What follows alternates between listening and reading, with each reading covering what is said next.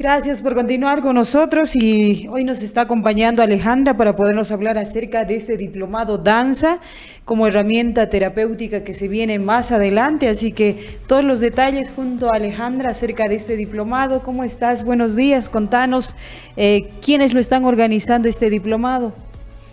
Sí, muchas gracias. Eh, bueno, este diplomado lo estamos organizando la Asociación de Danza Movimiento Terapia Bolivia, junto con la Universidad San Francisco Javier de Chuquisaca, el Centro de Posgrado CEPI, ¿no? Junto con el CEPI estamos eh, lanzando este diplomado. Es el primero que se organiza junto con una universidad pública.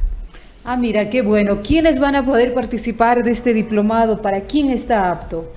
Eh, este diplomado lo pueden tomar todos los profesionales que trabajan con distintas poblaciones y que quieran usar la danza como herramienta terapéutica en sus fuentes de trabajo. En sus fuentes de trabajo. Claro que sí. Coméntanos cómo es eso. A ver, vamos a poner el ejemplo. Eh, un pediatra digamos, un pediatra que obviamente trabaja con la población infantil, toma este diplomado y va a ser capaz de observar el movimiento, por ejemplo, de sus pacientes, ¿no? el movimiento corporal, y brindarles herramientas para que se adapten a la consulta, a su tratamiento y pueda generarse, por ejemplo, em, un mejor eh, desarrollo a nivel motriz o pueda darles herramientas para que disminuyan la ansiedad frente a la consulta.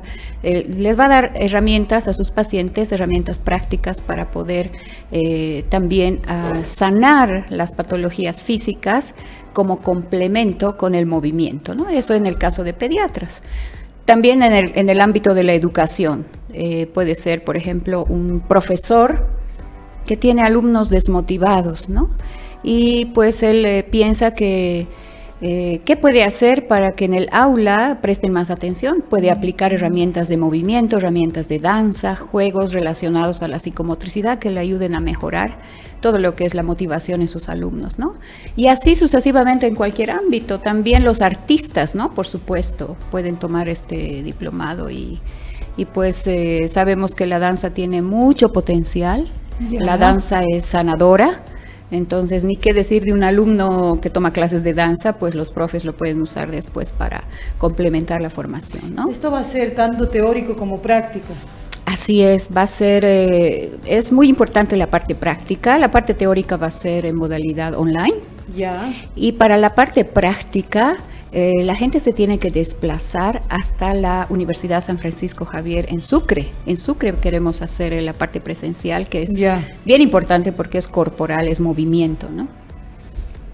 Mira, qué bueno.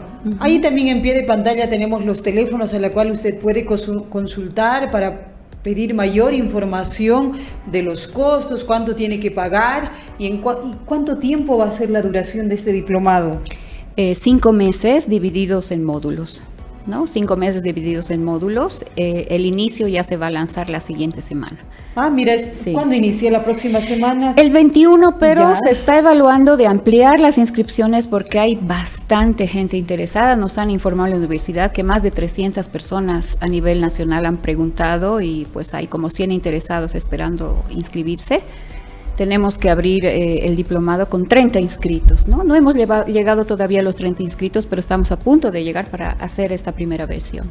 Mira, qué bueno. Esta es la primera versión, entonces seguramente va a haber nuevas experiencias, sobre todo de aquellos, de aquellos estudiantes que van a formar parte de este diplomado.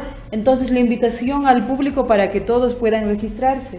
Claro que sí. Eh, invito muy cordialmente a los profesionales, que trabajan en el área de salud, educación y arte a inscribirse a este diplomado porque van a tener una herramienta más de trabajo para fortalecer su intervención profesional y no necesitan tener un título universitario también está admisible ah, para personas que están en los últimos años de sus profesiones y también los artistas que tienen 20 años de experiencia, por ejemplo, pero no tienen ningún título universitario, pueden acceder igualmente a la parte del programa de formación continua, sí, ah. como certificación. Qué bueno, así que ahí le hacemos la invitación para que usted pueda participar de este diplomado danza como una herramienta terapéutica que seguramente a muchos les va a caer bien porque al participar también de este diplomado usted va a generar conocimiento, ¿no? Y creo que a muchos les va a ser bien también el trabajo, como lo mencionaba Alejandra.